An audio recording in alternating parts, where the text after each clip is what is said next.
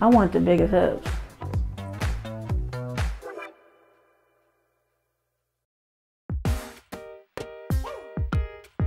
It's a celebration cake um, for my hips that I'm gonna make. Bobbi Jo Westley is on a one woman mission to become the proud owner of the world's biggest hips. The last I measured my hips, they were almost 100. My goal was to have the biggest hips. Last time we met Bobbi, she had hips that measured an eye watering 93 inches. My hips are sexy. I like them. They're like saddlebags. and it's not only Bobbi who likes her supersized hips.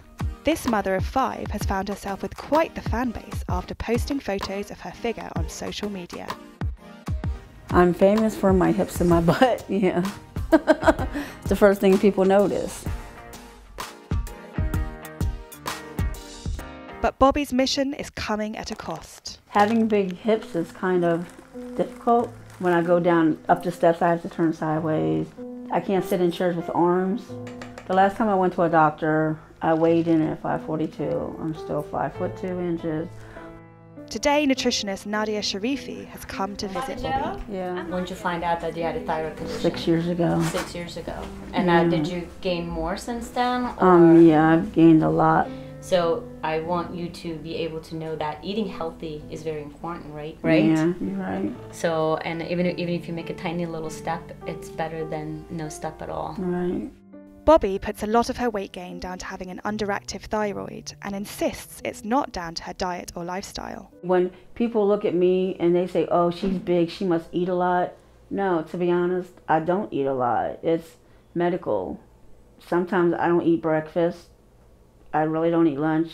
I'll pick here and there, but I'll eat like a, a dinner Nutrition, as we went through her day, was a big part of it. She doesn't eat enough, and when she does, it's unhealthy food. So thyroid is a little part of it, but really her nutrition and the way she eats is the bigger part. When I get people on social media who says I'm fat, I really don't react to it because I am fat.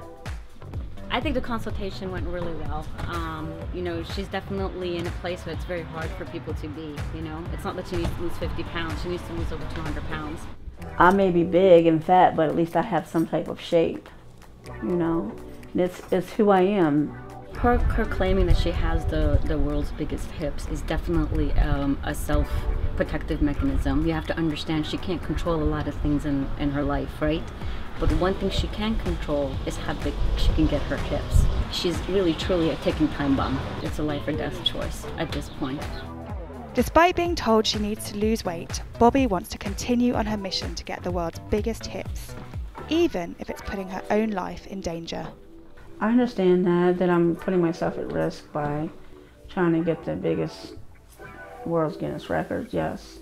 It's just, I want to be known for something. And if it means having the world's biggest hips, then that's what it, that's what I want.